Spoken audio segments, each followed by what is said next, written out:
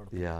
అంటే మండ వెంకటేశ్వరరావు లాంటి వ్యక్తి అంటే నైన్టీన్ ఎయిటీ ఫైవ్లో మీరు రాజకీయ రంగ ప్రవేశం ఎమ్మెల్యేగా అంటే మీ ఫాదర్ కమ్యూనిస్టు. సరే ఎన్టీ రామారావు గారు మిమ్మల్ని పిలిచి టికెట్ ఇచ్చిన సందర్భంలో మీరు ఇప్పుడున్న కేసీఆర్ గారు ముఖ్యమంత్రి అదేవిధంగా తుమ్మల నాగేశ్వరరావు గారు ఇట్లాంటి యోధాని యోధులు అందరూ దిగారు రాజకీయంగా. మరి అలాంటి మండ వెంకటేశ్వరరావు గారు ఎందుకు ఈ ప్రయాణంలో మీరు కొన్ని గీతలు గీసుకొని ఆ గీతల చక్రంలో ఉండిపోతున్నారా? అంతర్మదనం చదువుతున్నారా ఏంటి? అంటే ఇది కొంత కొంత ఉండేది. ఒక సందర్భంలో జానారెడ్డి గారి దగ్గరికి నేను వెళ్ళాను. ఎయిటీ ఫైవ్ నుంచి ఎయిటీ నైన్లో మేము ఆయన మాకు సీనియర్.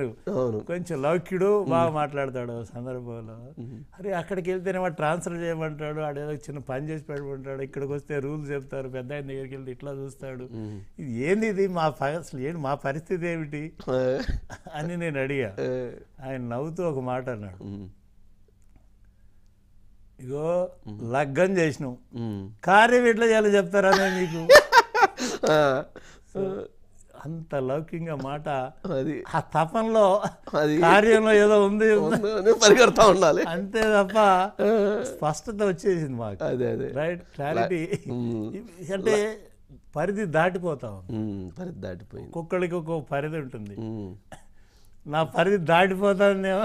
అని మీరు ఆగిపోయే ఆగిపోయే పరిస్థితి నాకు వచ్చింది వచ్చింది. వ్యవస్థని మిగతా వాళ్ళందరినీ నిందించడం కాదు కానీ నేను ఓవర్ సెన్సిటివ్ అవుతున్నాను.